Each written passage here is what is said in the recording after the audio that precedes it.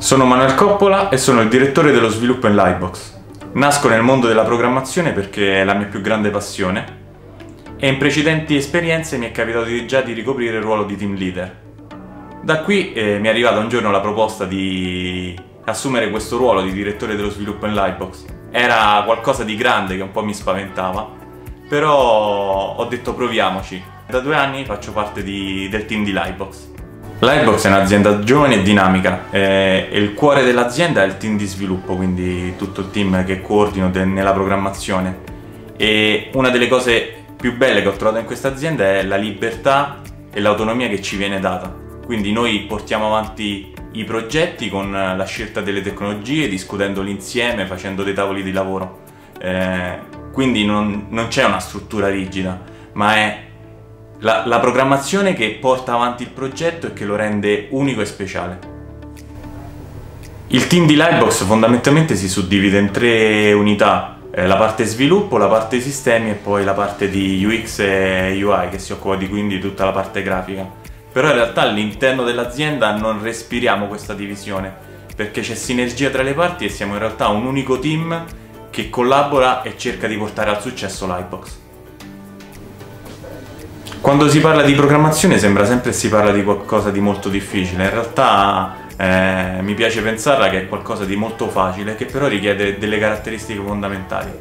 talento e passione e grande impegno. Eh, quindi chiunque può diventare un programmatore, l'importante è avere la voglia di mettersi in gioco, fare quello che si ama. Se mi chiedessero com'è la giornata tipo di un programmatore risponderei che è la giornata di un membro di una famiglia quindi ci svegliamo la mattina e ci diamo il buongiorno, poi ragioniamo insieme sulle attività da svolgere durante tutta la giornata di lavoro, quindi i progetti e i task da portare avanti, e poi intervalliamo momenti di programmazione, momenti di riunioni e call, a momenti di normale vita quotidiana, quindi dal preparare il bambino per andare a scuola, dal preparare il pranzo, si chiede cosa si mangia, cosa, cosa si vede in tv, serie tv, momenti di svago anche, e poi si conclude la giornata augurandosi a tutti appunto una buona serata, un buon riposo in attesa del giorno dopo. Se dovessi pensare a cosa fare, che progetto portare avanti nel prossimo mese, direi che la mia risposta è sicuramente Vudesk, perché è un progetto che è nato eh, con me, eh, che l'ho visto crescere, l'ho visto consolidare nella sua prima fase, che darà tanti altri stimoli, quindi sono curioso di vedere come crescerà Sicuramente la situazione che abbiamo vissuto eh, ci ha insegnato a lavorare in un modo diverso, anche se poi Lightbox in realtà approcciava al modello dello smart working già prima dell'emergenza sanitaria. Però questo smart working, diciamo 5 giorni su 5, quindi un full time,